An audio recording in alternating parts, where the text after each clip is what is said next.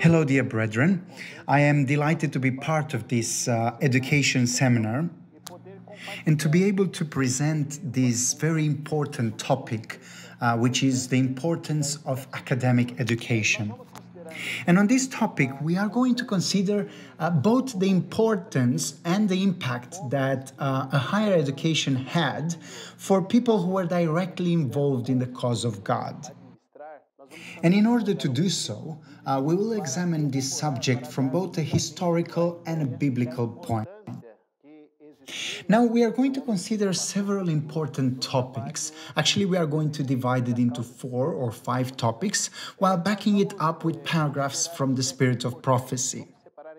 And we are going to do that in order to consolidate the ideas and also to create a timeline between how the things were back in the days of uh, the people of Israel and how the things are or should be in our time. When we talk about knowledge or academic education, it is very important for us to consider both uh, the source and its limitations.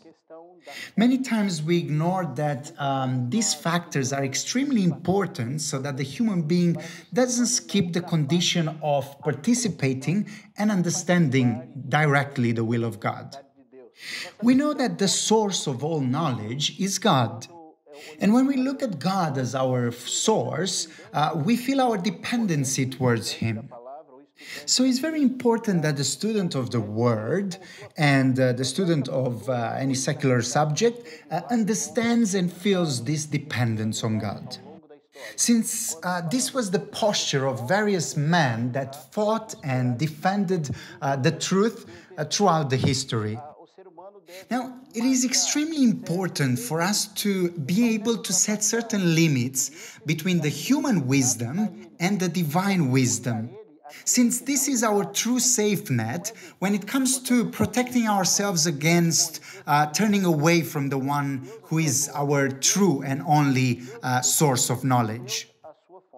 And talking about academic education, let us see what Sister White says in The Desire of Ages. And uh, it's written We can trace the line of the world's great teachers as far back as human records extend. Every gem of thought, every flash of intellect, is from the light of the world. In these days, we hear much about higher education. The true higher education is that imparted by Him in whom are hid all the treasures of wisdom and knowledge. So, analyzing this text, we come to the conclusion that there are certain limitations, certain limits for the human being, and there are none for God.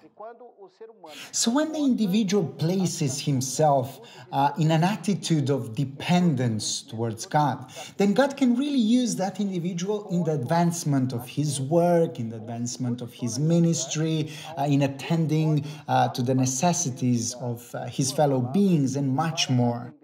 On the other hand, if a person, regardless of how many studies, how many superior studies she may have, or uh, how much knowledge and wisdom he or she might have acquired, uh, if this individual doesn't recognize God as the source of all that knowledge, if he doesn't place it in the service of God and others, then we may literally say that uh, he or she is robbing God. Okay, now as we open the Old Testament, uh, we see that in the time of the ancient Israel, many young boys and girls were, as if we could say in a modern way, homeschooled. So they received their first uh, educational studies at home. Why? Because at home, the children of Israel were exposed uh, to the real source of all wisdom and knowledge, which is God. And as the people of Israel grew and developed themselves into the great nation that they eventually became, uh, they continued practicing this educational system. Then, as we get to the time of Samuel, we see a new institution being um, uh, opened or commencing, which is the schools of the prophets. Uh, and those schools and their educational system all centered on the Bible. In other words, their foundation was the Word of God. Whether uh, they were studying on human behavior or ethics or any other studying topic, uh, their source of knowledge and wisdom was the Bible. And thus, Israel was capacitating and preparing uh, their own children to one day become the light of the nations. However, when Israel would walk astray and they would start worshipping other idols, they would subsequently um, distance themselves from the source of all wisdom and knowledge, which is God. Then, as we consider the history of the people of Israel, uh, we see quite a huge change when we get to the days of Jesus, uh, and we realize that John the Baptist wasn't allowed to go to the schools of the rabbis or the schools of the prophets uh, because they were no longer centered upon the Word of God. Uh, they lost their foundation. And thus, John the Baptist uh, wasn't allowed to attend to these schools um, since we see that the oral law uh, became much, much greater uh, than the written law. So, uh, thus, little by little, um, the nation uh, of Israel uh, departed from the will of God. And these schools of the prophets uh, also departed from their original purpose and project. Further on, we see that even Jesus himself didn't attend to any of these schools. And instead of that, uh, he was prepared and taught by his own mother, uh, who used the Word of God uh, as the material of his study. So we see that this, um, which started as a, a biblical, uh, it went on to develop into the schools of the prophets. Uh, we we see and we consider from the biblical history uh, that we which were basically chosen because of their mental capacities, because of their preparation, their skills, their wisdom, their knowledge. As we can see in Daniel chapter uh, 1, verse 3 uh, going forward, we can see that uh, the, the king Nebuchadnezzar uh, wanted to basically gather all the brilliant young minds uh, of the, the Babylon uh, Empire, from all the provinces, from all the captives, from all the regions possible, he wanted to gather uh, the brightest young minds uh, to his palace so that they might uh, undergo specific training. And thus, we can rightly assume that uh, all this preparation, all this knowledge, wisdom, skills, uh, and, and mental capacities uh, that these three young men, together with Daniel, uh, proved to have and to possess, uh, basically they received all that preparation uh, in the schools of the prophets. Now, these four young Israelites were chosen by Nebuchadnezzar, uh, and then they were placed on a, let's call it a program of study for three years before they were to be presented again to the king. On this subject, Sister White says uh, in the book Prophets and Kings at the court of Babylon were gathered representatives from all lands, men of the highest talent, men the most richly endowed with natural gifts, and possessed of the broadest culture that the world could bestow. Yet among them all, the Hebrew youth were without a peer. In physical strength and beauty, in mental vigor and literary attainment, they stood unrivaled. But their learning did not come by chance. They obtained their knowledge by the faithful use of their powers under the guidance of the Holy Spirit. They placed themselves in connection with the source of all wisdom, making the knowledge of God the foundation of their education. So here we see the results of the education that these young men uh, received at home, with the Bible being the main material of their preparation. And moving on from the Old Testament, uh, let's continue our journey, our study on uh, academic education in the New Testament. Will we find anything to back up uh, this topic in the New Testament? Let's see.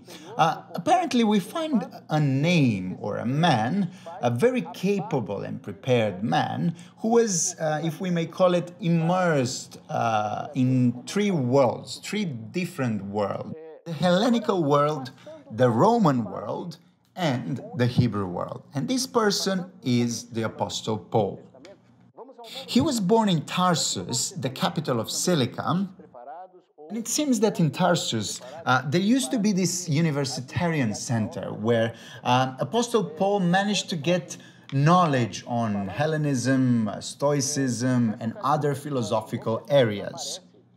Further on, he moved to Jerusalem, where uh, he became the disciple or the apprentice of the great Gamaliel. And at his feet, he became a very capable man. Uh, we, could, we could say, we could definitely say that he became a doctor of the law. Then he became even part of the Sanhedrin. So basically, we could uh, say that Paul became a very important figure, a very capable figure. But then, when uh, he had his encounter with Christ and when uh, God spoke with Ananias uh, concerning Paul, Ananias was rather skeptic about it. But then God said, I have chosen him so that he can uh, share the truth with the Gentiles. And then Ananias accepted uh, his mission, and uh, Paul thus became the great missionary uh, that we now know. The interesting point is that uh, since Apostle Paul was immersed into those uh, three worlds the Roman, the Hebrew, and the Hellenistic he could preach uh, to them, he could expose to them the, the truth, both in the synagogues, both before the Romans, uh, with power and knowledge. And he could do that successfully uh, because during his life he acquired knowledge, skills, preparation uh, that uh, further on capacitated him to speak before the high classes of the society and uh, any, any other class possible. Now, on a certain occasion, when Paul was in Athens, uh, he found himself surrounded uh, in a marketplace by uh, certain philosophers of the Epicureans and Stoics and other, uh, other very cold and very uh, highly educated men. And Sister White says in the Acts of the Apostles, uh, page 235, she says the following Among those who encountered Paul in the marketplace were certain philosophers of the Epicureans and of the Stoics, but they and all others who came in contact with him soon saw that he had a store of knowledge even greater than their own. His intellectual power commanded the respect of the learned, while his earnest, logical reasoning and the power of his oratory held the attention of all in the audience. His hearers recognized the fact that he was no novice, but he was able to meet all classes with convicting arguments in support of the doctrines he taught. Thus, the apostle stood undaunted, meeting his opposers on their own ground matching logic with logic, philosophy with philosophy, eloquence with eloquence. So you notice how important it is to uh, have people uh, possessing this superior education, um, people capacitated and prepared and trained and skilled, uh, and people with, with uh, a vast knowledge that can defend the truth and preach the truth with such a conviction uh, in such a complete form as Paul uh, here on this occasion did. Paul's influence on the New Testament was uh, truly impressive. And uh, we see that he had this influence because uh, he could preach not only to the Jews, he could preach to the Greeks, to the, to the Romans, uh, to the Gentiles of all sorts, and had the results uh, that followed. So, dear brethren, do we, do we notice, do we see how important it is for us to, to be a people capacitated with uh, as much knowledge as possible so that when we get into a situation in which we are going to uh, have to express, to, to preach, to defend the gospel, uh, that we may be able to do it as Paul did it, as Daniel and the three young friends of his did. Nevertheless, the crucial aspect of this point is that beyond all the secular education, beyond all the superior studies that we may be able to attain to and obtain, uh, we base our education, we base, uh, we, we put as the source of all uh, education or the source of all knowledge God and His Word, as they did. So we see that this educational system, which started as a homeschooling, a biblical homeschooling, and then went on uh, to develop into the schools of the prophets, with the passing of time, it seems that it lost uh, its purpose, it lost its center, its foundation, and was no longer based upon the word of God. And thus, neither John the Baptist, neither Jesus was allowed to attend to any of these schools. Although it's worth considering and mentioning that these schools, up to the moment in which they maintained the focus, the center, the foundation uh, upon the Word of God, they were remarkably effective. And uh, we can say that based on the results uh, that uh, these schools produced. And one of these results were uh, Daniel and his three friends. And now, dear brethren, advancing from the period of the New Testament, several centuries down the road, we come to the Protestant movement. And when we talk about the Protestant movement, uh, we cannot but uh, remember, or probably the first name that comes into our minds, are the Valdenses. And during this rather turbulent period of the uh, Protestant Reformation or Protestant uh, movement, um, the ministry advanced because of these very dedicated and committed people. And I say dedicated because um, whether we talk about any secular work uh, that they would perform or uh, any academical study, they would do it at their very best. However, although they possessed a very uh, vast knowledge, vast academic or secular knowledge, their secret or the, the foundation of their knowledge was the Word of God, was the Bible. And this is the, the differentiation factor between them and the other people of that time. Uh, their intimate relationship with God, their communion with God. And above all, notwithstanding the fact that they were very knowledgeable and capacitated uh, people, they would give all the glory to God. And along the pages of history, we uh, come across many reformers, uh, many Valdenses or many other reformers that had to defend the truth before uh, the authorities. But one thing that uh, we usually see that they have in common is the fact that they were very prepared, uh, they were capacitated, and they were studied uh, people. When we talk about reformers, uh, one of the names that comes into our minds is Wycliffe, uh, an Englishman, a very studied Englishman. Uh, he had superior academic education. Um, and when he came across um, and when he um, studied profoundly the Word of God and he understood that the papacy wasn't really following uh, accordingly um, the, the, the Word of God, immediately uh, takes a stand and starts defending the truth as it is really uh, written in the Word of God.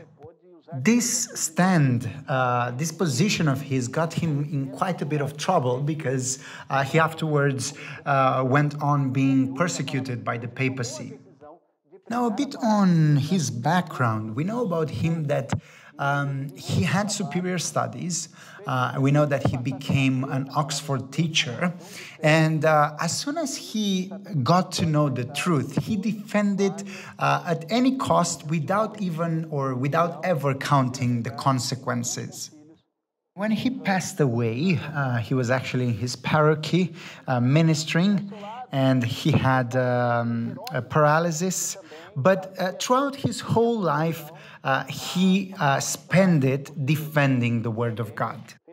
Afterwards came John Huss, who, although coming from a very humble and poor background, uh, was given by God the opportunity, the, uh, the privilege of studying at one of the most renowned universities at that time, which was the University of Prague where he could obtain a thorough education, academic education in several subjects, until uh, he as well was uh, exposed to the truth, uh, to the Word of God, and he took the stand to um, preach this truth into the own language of the people.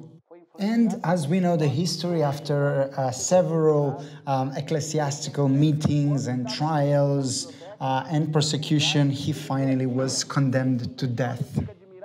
By his side uh, stood a guy called Geronimo, who also had superior studies uh, in France, and then uh, he also had a master degree.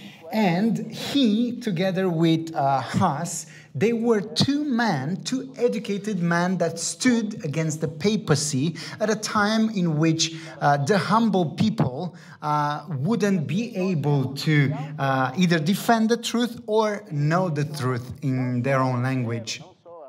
And like them, there were many other reformers that uh, took a stand for the truth.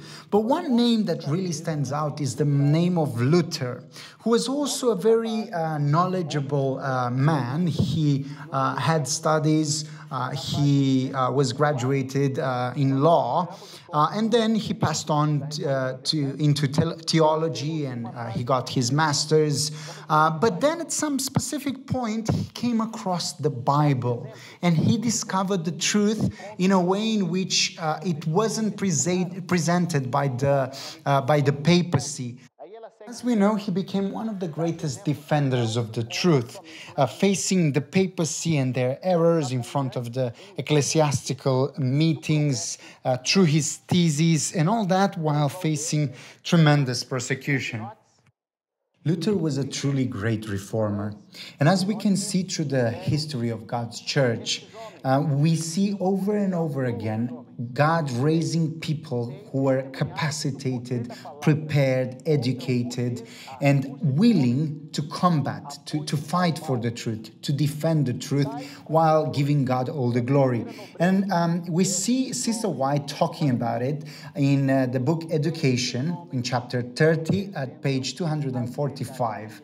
And she says, such examples are not found in the Bible only, they abound in every record of human progress. The Vaudois and the Huguenots, Wycliffe and Huss, Jerome and Luther, Tyndale and Knox, Zinzendorf and Wesley, with multitudes of others, have witnessed to the power of God's word against human power and policy in support of evil.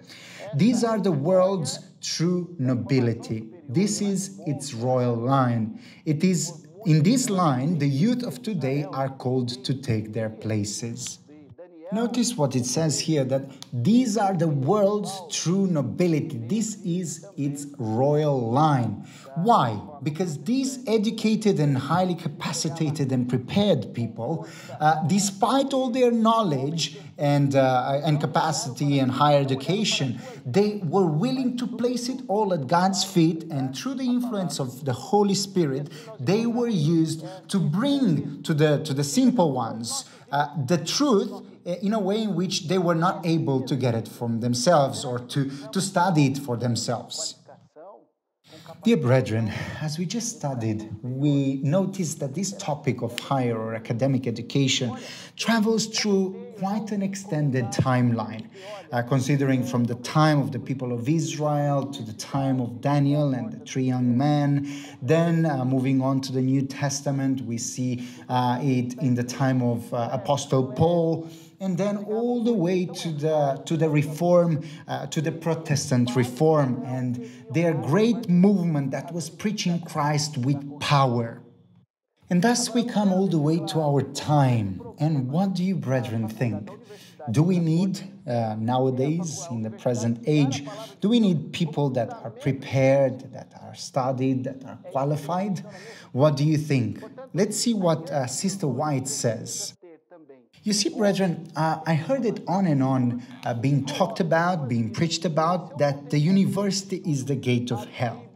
And it's right. If you think about it in uh, the book Great Controversy, uh, we, we read about the time in which the clerks would uh, really teach uh, very wrong, very uh, erroneous things.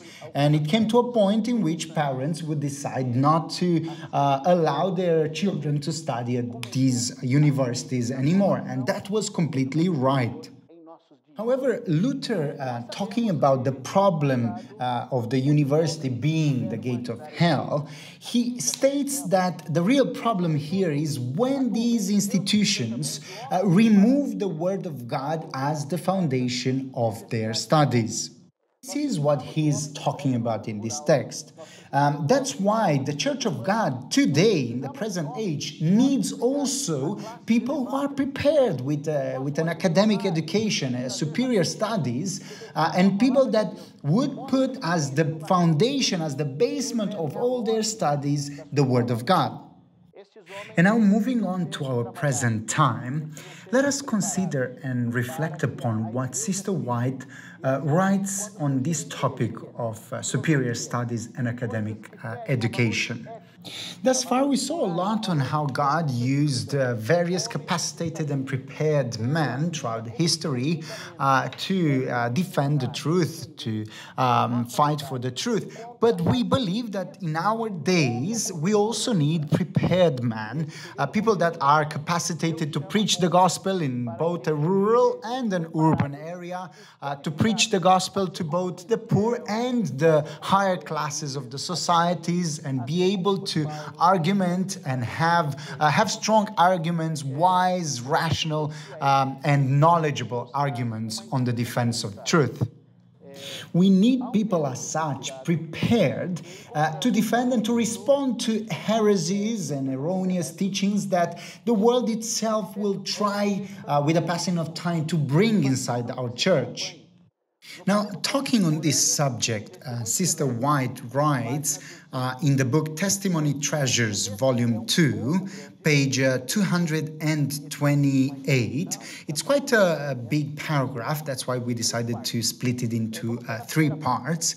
And we read it says, It is not wise to be constantly expending means to open untried fields while so little is done to prepare workers to occupy them.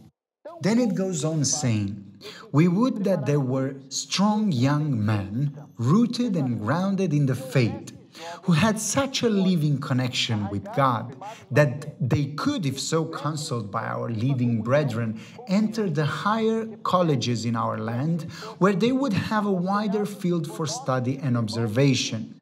Association with different classes of minds and acquaintance with the workings and results of popular methods of education and a knowledge of theology as taught in the leading institutions of learning would be of great value to such workers, preparing them to labor for the educated classes and to meet the prevailing errors of our time. Such was the method pursued by the ancient Valdenses and, if true to God, our youth, like theirs, might do a work, a good work, even while gaining their education in sowing the seeds of truth in other minds. And finally, it says, we see the need of encouraging higher ideas of education and of employing more trained men in the ministry. Now, uh, considering this text, we can analyze uh, several points, and the first of which is that many times we open new fields without possessing or without having uh, prepared um, or capacitated workers to uh, be placed in these new fields.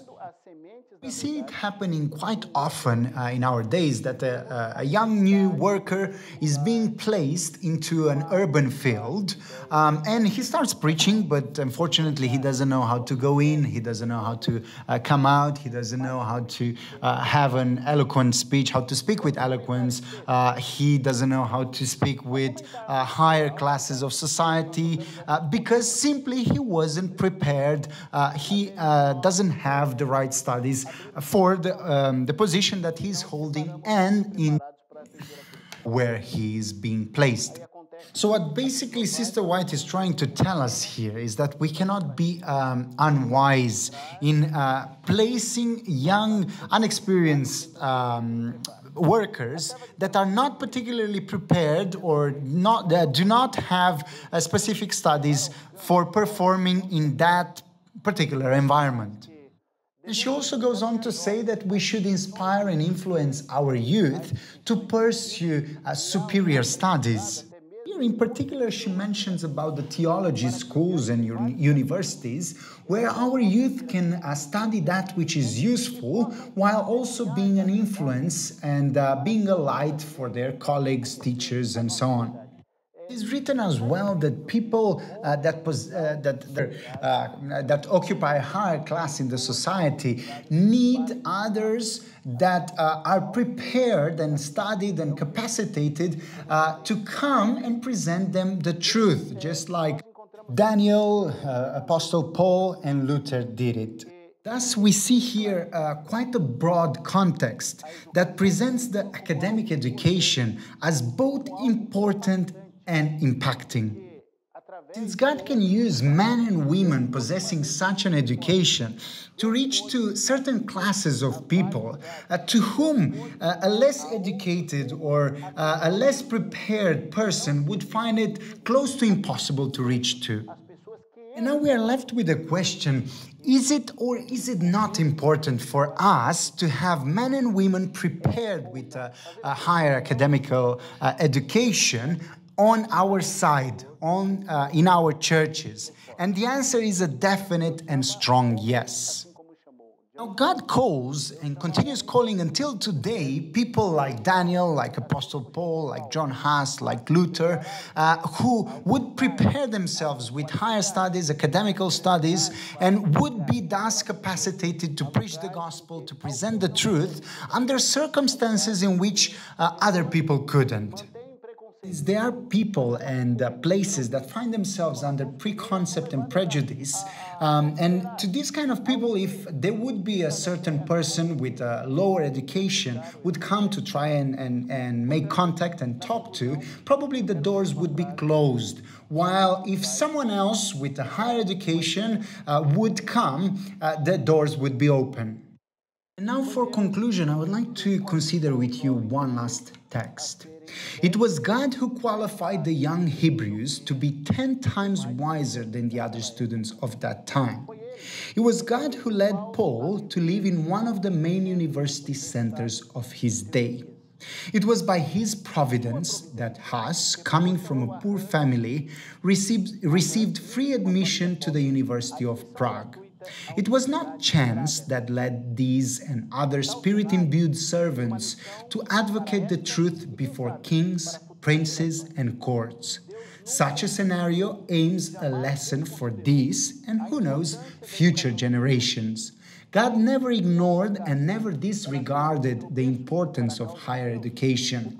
If, in some cases, it served as a stumbling block to the cause of God, the problem was never at the source, which is God, but rather in the disrespectful attitude that some have undertaken to exceed their limits. now, dear brethren, uh, as a review, do we understand?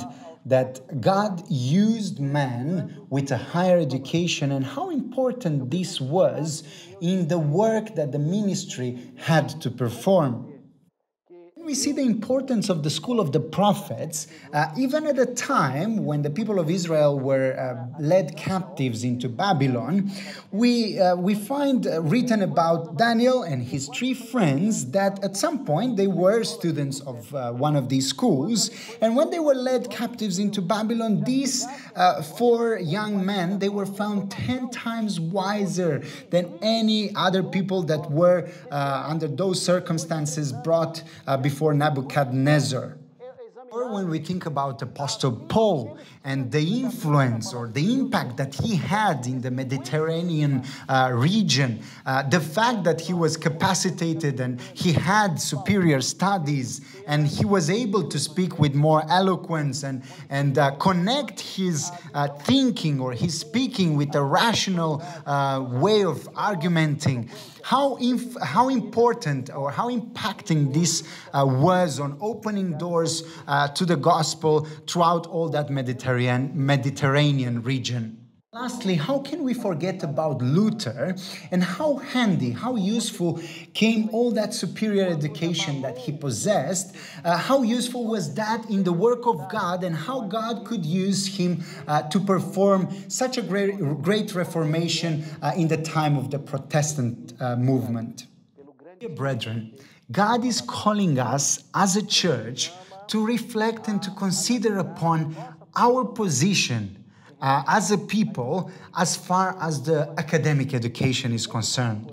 This new modern world, with all its theories and philosophies, trying even to change moral or ethical conducts, must be confronted.